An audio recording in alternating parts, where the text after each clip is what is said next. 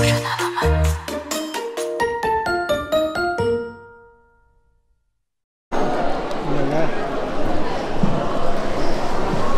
이규영 배우님 좌측 바라보겠습니다.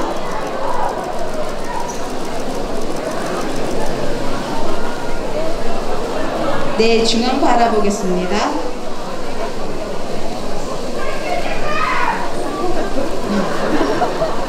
네, 그리고 우측 바라보겠습니다.